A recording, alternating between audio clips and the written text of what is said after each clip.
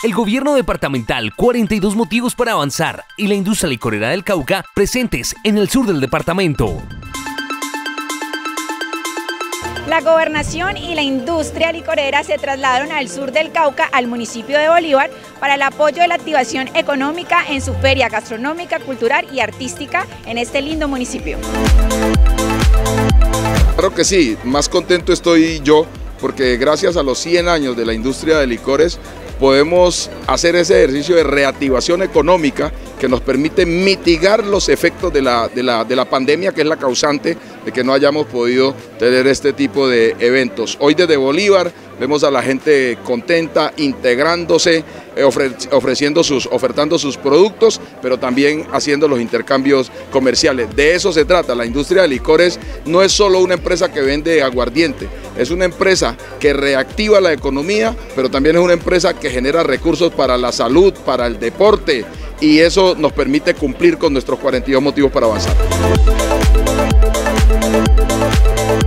Sí, hoy desde Bolívar, un municipio grandioso, un municipio que nos ha brindado la, la acogida celebrando los 100 años de historia guardientera. Escogimos al municipio de Bolívar como preámbulo a aquellos carnavales que son tan, tan eh, turísticos y donde todo el mundo viene a visitarlos. Hoy tenemos una feria artesanal, gastronómica y artística, como lo pueden ver. Hay participación de todos los municipios del sur del departamento una inclusión que quiere nuestro señor gobernador desde todas las esferas, inclusión, solidaridad y gran resiliencia de las gentes. Este evento contribuye notablemente a la reactivación económica de esta importante zona caucana.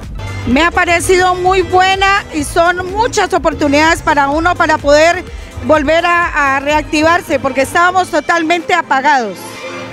Esta fiesta comunitaria no se vivía en las calles de Bolívar Cauca desde hace varios años.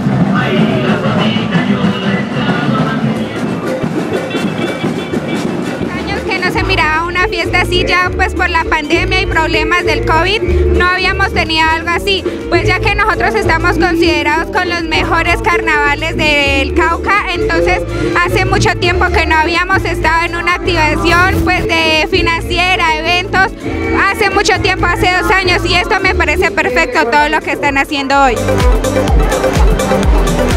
De este modo, la gobernación y la industria licorera del Cauca apoyan la reactivación económica de nuestro departamento.